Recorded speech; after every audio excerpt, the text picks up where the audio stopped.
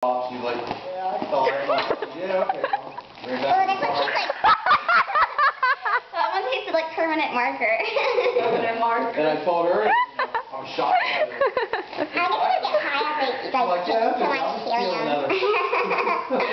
oh, my voice hurts. Hold on. That's right.